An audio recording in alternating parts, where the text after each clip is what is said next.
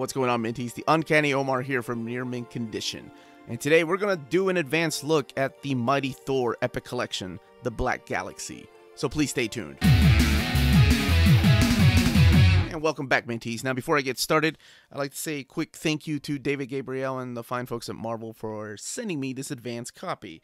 Now, the Black Galaxy has been collected before in this trade paperback right here, but this is just The Black Galaxy by Tom DeFalco. It just contains issues 417 through 425, and then some of the material from 416, but that's it. This is volume 18 of the Thor saga in the Epic Collection.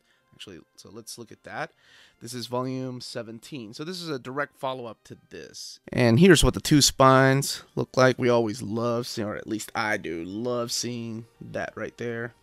Just the different pictures with the same tone of color, the Black Galaxy, directly following Mortal Flesh. So, most of this stuff, actually, I have a funny story about that. Okay, now what I was going to say is most of the stuff is written by Tom DeFalco and Randall and Ron Frenz, and it kicks off with the Terminus Factor. This is part three. And let's see here. I believe that's all that's included in here is just the Thor annual. So it contains Thor 419 to 436, and then this annual right here, which is annual 15. This annual was part of a five part crossover of Avengers West Coast, Avengers, uh, Iron Man, I believe Captain America is the one that kicked it off, and that's the Terminus factor. It's the return of Terminus, the Destroyer, and but only the Thor annual is collected in here. So I think putting all five of the annuals in one epic would have made half of this epic, and that's about it. So we needed to get to the Thor stuff, and then we get to the Black Galaxy saga. And here, let me show you some of this stuff here. This is written by Tom DeFalco and Ron Frenz and it's pretty much the high evolutionary creating a new race in the Black Galaxy. It's a new immortal race. So it's kind of a big deal. You have uh, a lot of the Avengers come into play, and that's during the time of Roger Stern's Avengers. But what I like to always point out about this is the amazing artwork, uh, or collaboration rather, of Ron Frenz and Joe Sinnott which of course gives it that Kirby-ish like style to his artwork. I mean, the man is known to have been Jack Kirby's inker for the longest time, so of course he gives it that Kirby finish. And as a kid, I didn't appreciate it, just like I didn't appreciate Jack Kirby's artwork. Uh, I was a foolish kid. But the funny thing about this is, this takes place, actually, it says here in the back, 1990 to 1991. There's your volume. Retail price is $39.99. I forgot to mention that. It's epic. It tells you the numbers of issues it collects, and of course, the years. And a quick synopsis of what the story is about 1990 to 1991. Now, some of my family members, my uncle in particular, uh, knew that I liked reading comic books. And just like most adults, they really don't take time to listen to kids. So he got me a subscription. Now, I was only reading X Men at the time. This is uh, seventh grade Omar. I was reading I, on my pull list, I had X Factor, X Men. Uh, I'm sorry, Uncanny X Men, of course, and then of course uh, New Mutants and Excalibur was sent to my house. So it was. Speaking of Excalibur, we have the guest stars of Excalibur in issue 427. I love that homage to X Men number one. Well, what I was gonna say is, uh, my uncle was nice enough to actually uh, get me a subscription comic book, so he got me Thor and Iron Man, and I was like, I don't read this stuff, but I wasn't gonna be a rude kid. So, you know, that was uh, that was I want to say 1989, like the Christmas in the '89. So I got a lot of these issues really remind me of that time. You know, so I tried it and I got excited. I saw that uh, Juggernaut shows up and he had that previous fight with him in issue 411, which was the first appearance of the New Warriors. Hell yes, come on, New Warriors, Omnibus Volume Two. One day, right? One day.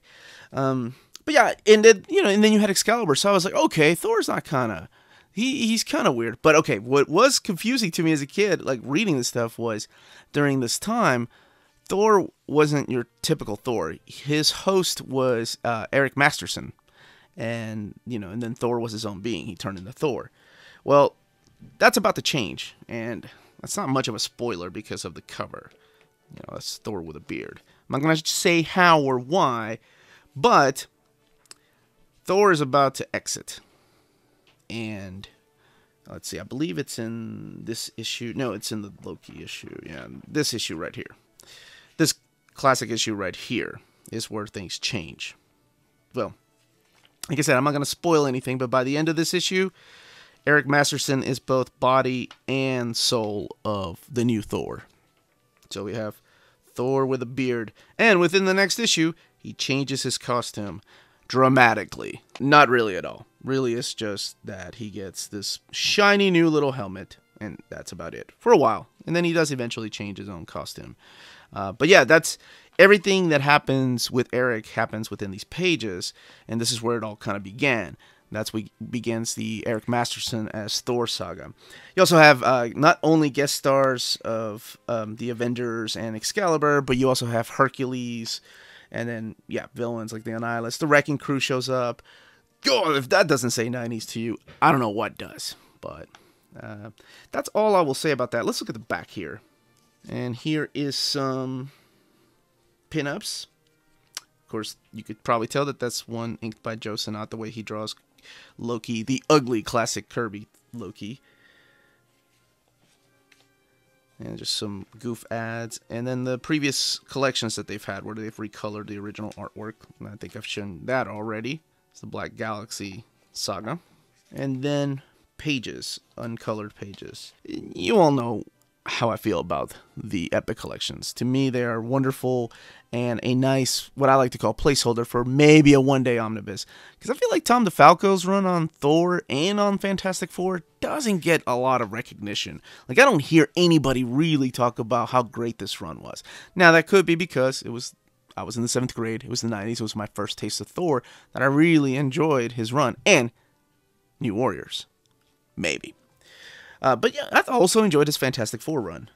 Um, all right, that is it. The book is scheduled to come out on August 28th at comic book stores and retail places online like cheapgraphicnovels.com or in stock trades. However, it's about a week or two later that they show up at places like Amazon and Barnes and Noble.